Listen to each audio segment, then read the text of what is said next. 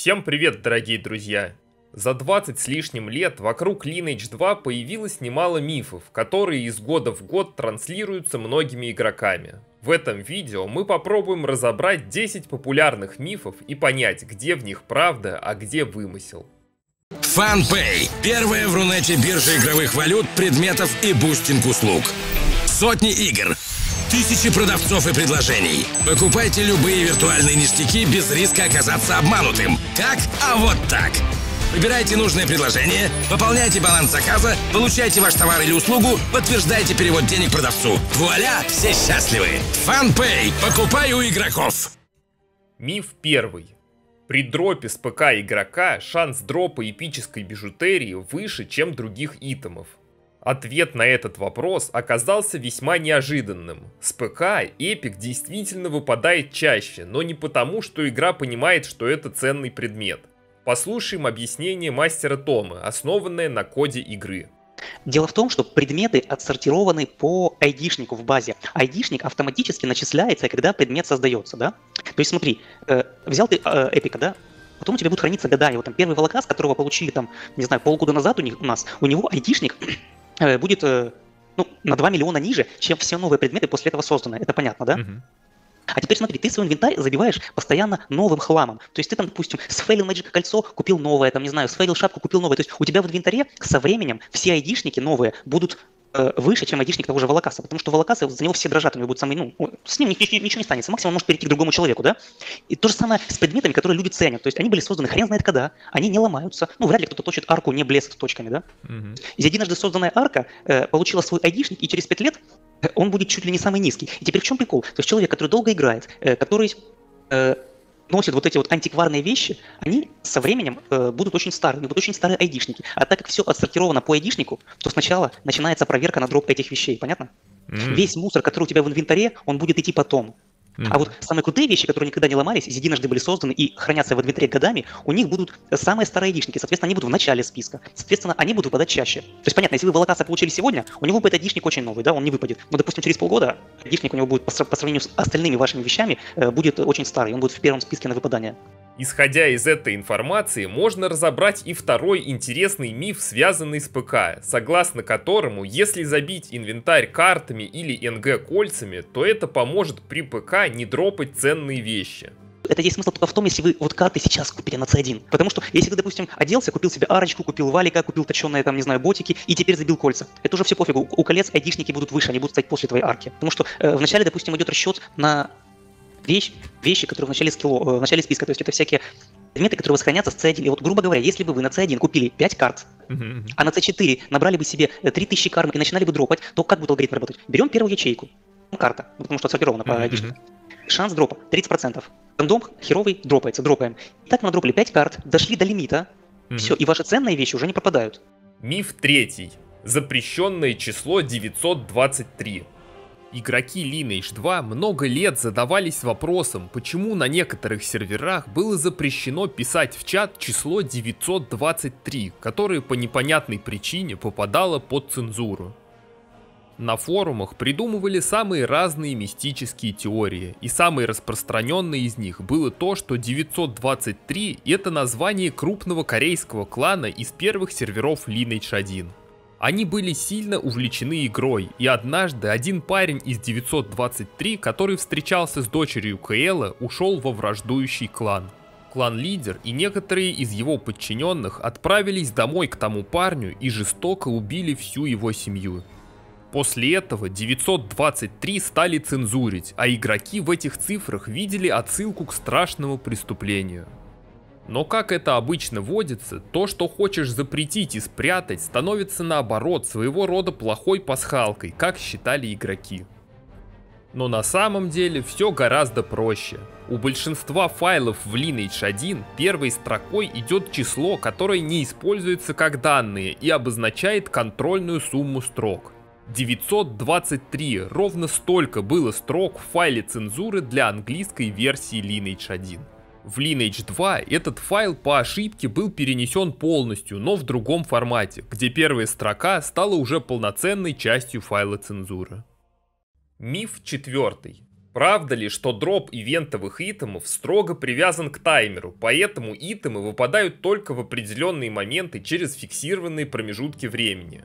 Чтобы разобраться, правда это или миф, снова придется обратиться к мастеру Томе. Есть лимит э, предметов, и каждый ивент был имел свои параметры. Например, возьмем ивент вот сердца, да, валентинки. Раз в минуту, по-моему, это было либо минута, либо 40 секунд. У, опять же, у каждого ивента свои настройки. Дроп можно было вытащить из мобов 135 сердец. То есть, если ты на сервере один, и ты убил за это время, за это окно 135 мобов, ты вытащишь 135 сердец. То есть таким образом идет ограничение, да не, ну, уже не получится паровозить, потому что даже если это паровозер какой-то, он убьет этих мобов там сотню за секунду, он вытащит весь пул предметов, и ему придется ждать следующее окно, которое будет через минуту. Это одна проблема. Вторая проблема, судя, судя по изменениям следующим, да, которые были в поздних хрониках, точнее в следующих хрониках, это неравномерность дропа в разное время. То есть смотри, когда вечером, допустим, когда играет много народу, люди получают, ну, э, мало дропа. Почему? Потому что число, оно забито, да, вот 135 для сердец. А утром, когда играет 2-3 ботовода, они забирают весь пул. Так вот, в следующих хрониках, э, в четвертых уже, градация ивентов, точнее их ранжирование, оно уже было даже по часам. То есть там выставлялось, э, какое максимальное количество предметов с какого по какое время можно выбить. То есть, допустим, в 8 утра, условно говоря, это может быть 50 предметов, а вот в 6 вечера, там с 6 вечера до 12 ночи, это уже будет 200 предметов. Очень дол после долгих изменений притирок ее ввели в C4, и вот, судя по всему, она таки не менялась, она себя оправдала. Таким образом, можно сказать, что предметы падают не в определенный момент, а в течение всего интервала времени. Однако из-за того, что их число за интервал ограничено, при большом онлайне игроки очень быстро дропают все итемы в самом начале периода, а новая порция итемов может упасть только в следующем интервале. Миф пятый. Прыжки в Lineage 2. Конечно же, любой, кто хотя бы раз заходил в L2, с уверенностью скажет, что прыжков тут нет. Однако так не во всех версиях. Например, в китайской локализации игроки действительно могут прыгать. Правда, забраться куда-то или перепрыгнуть через препятствие все равно не получится. Миф шестой. Существует одна городская легенда, согласно которой от Кэнсела защищает баф Майт. Я попросил мастера Тому разъяснить, правда ли это, и если да, то на чем основан данный баг.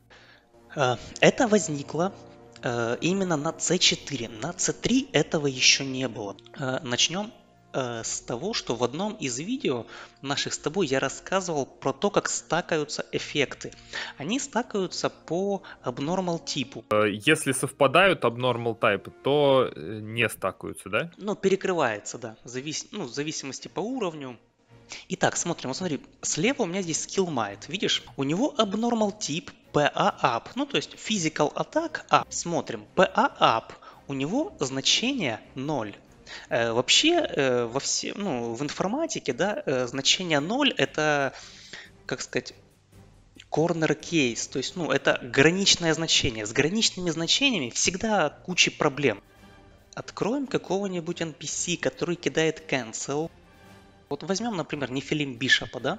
Что такое чек Magic? Чек Magic это те скиллы, которые Бишоп проверяет, он смотрит, если на тебе висит Silence, либо на тебе висит Sleep, причем уровень 6 это не имеет значения. Если на тебе висит Silence или на тебе висит Sleep, я на тебя не положу Cancel. Но это как бы глупо, правильно? Человек, он заслиплен, либо он так кастовать не может. Э, вот, значит, ему Cancel не нужен. Смотрим, как это ре реализовано э, в его логике. В этих двух функциях он пытался проверить код этого моба, пытался проверить, наложен ли на тебя silence либо sleep. Если он не наложен, то мы делаем э, cancel magic, кастуем ее, да, вот.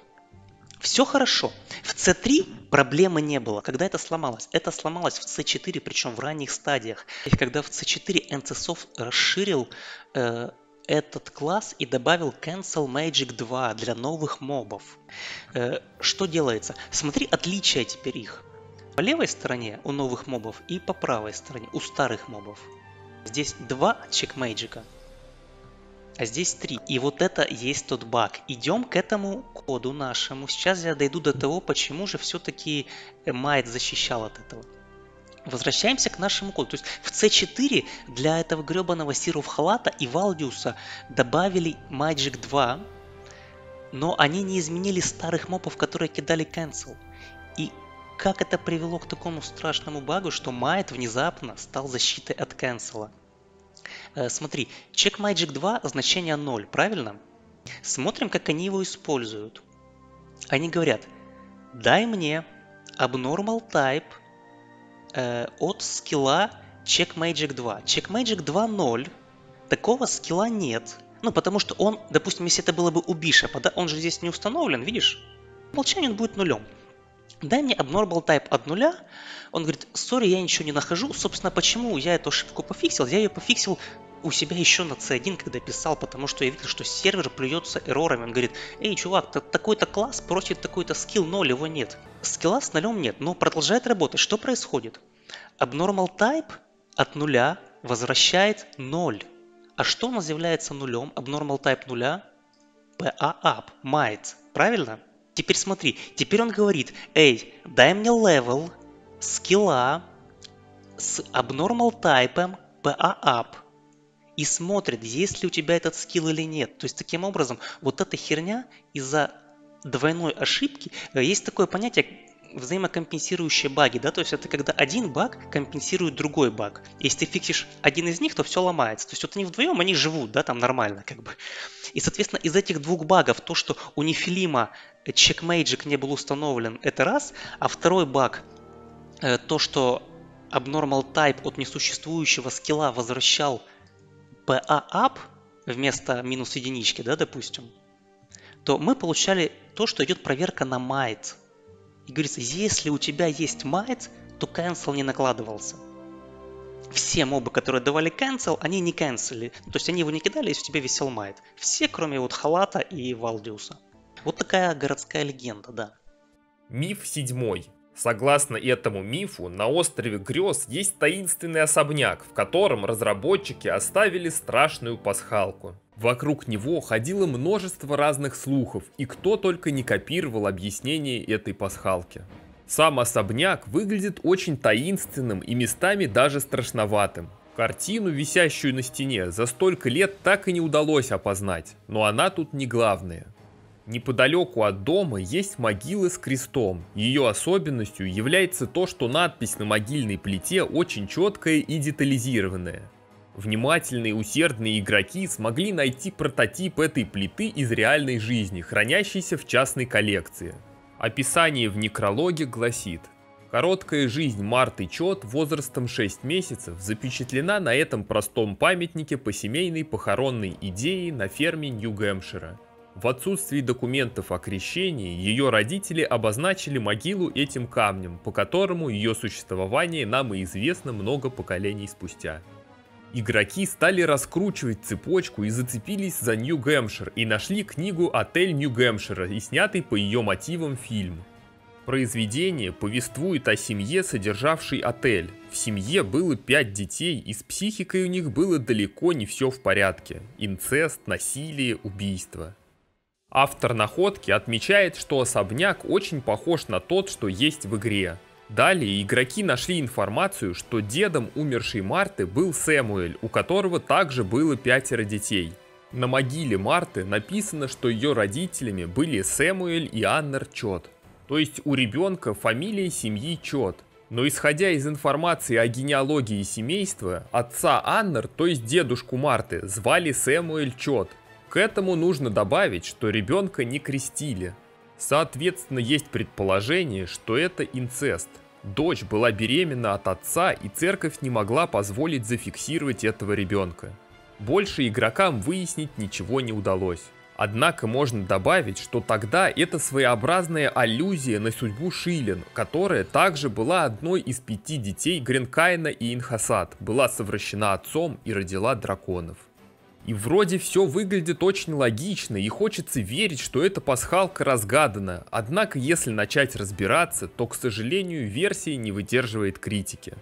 Первое – это то, что могильная плита из Нью-Гэмпшира не имеет никакого отношения к книге и фильму.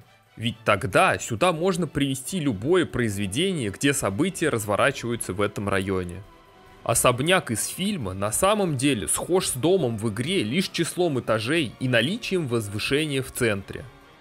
Но это и не столь важно, ведь самое главное, что вопреки уверенным утверждениям, что надгробие уникально, оно на самом деле частями встречается и в других местах на карте игры, но при этом никому не приходило в голову разгадывать это как пасхалку. Те же надписи есть и у надгробий, где делается квест на четвертый левел клана и на востоке кладбища. Вместе с ними там есть и другие вполне читаемые надписи, которые никогда не воспринимались как пасхалки. В недавнем обновлении основной версии в игру добавили книгу сказаний героя, где в виде коротких абзацев рассказывается немного лорной информации. Там есть описание острова грез, когда-то остров грез принадлежал гному-торговцу из Глудио по имени Балас. На этом острове жили отсталые племена и малочисленные беглецы со всего света. Затем его купил Кранкин, и после этого остров преобразился и обрел нынешний вид.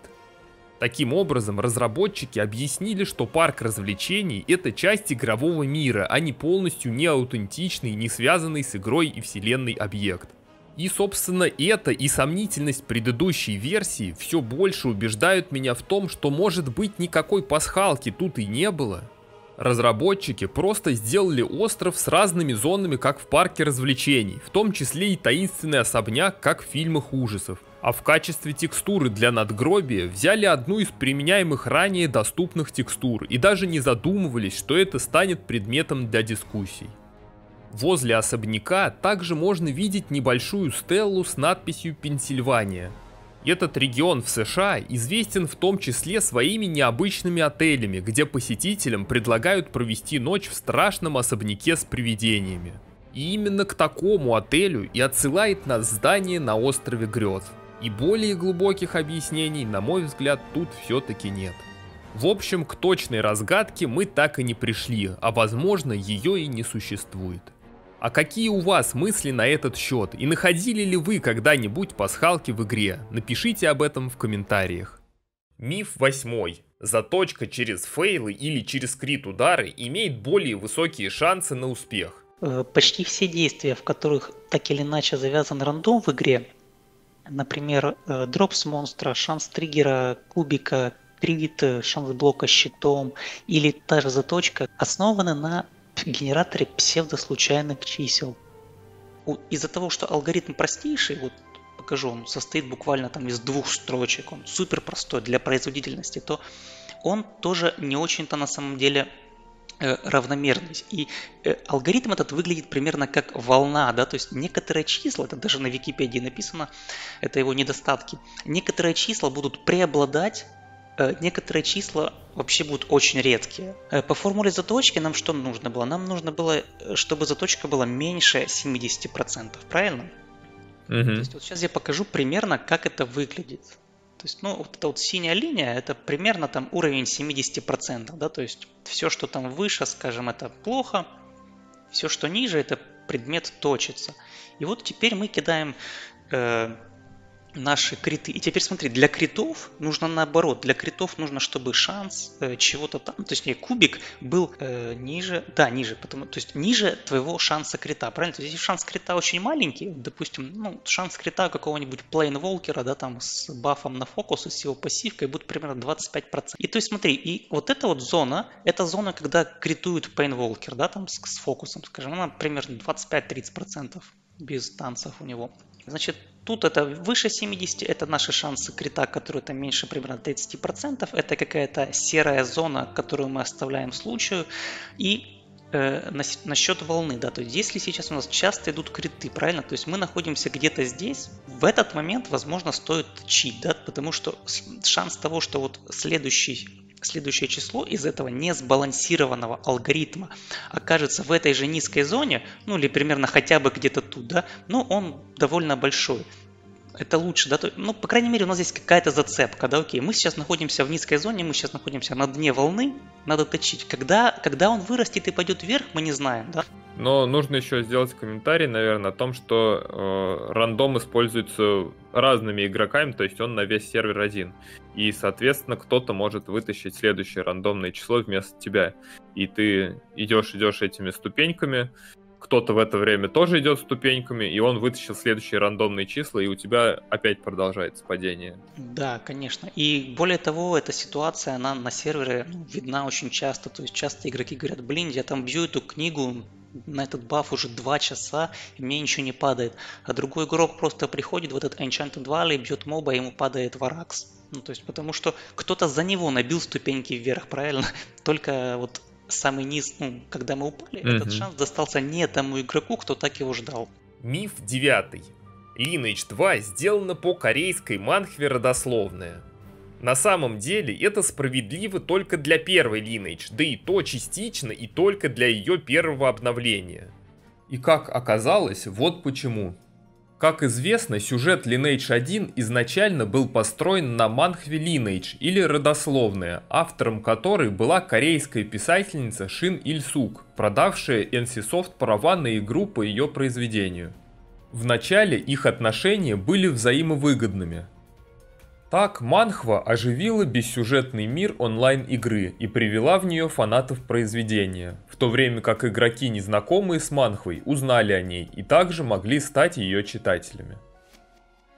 Но популярность игры быстро значительно превзошла популярность оригинала – при этом права на использование названия и мира Lineage писательницей были проданы также компании Аникина, которая вместе с Digital Dream Studio планировала выпускать по мотивам манхвы комиксы и игры для Xbox.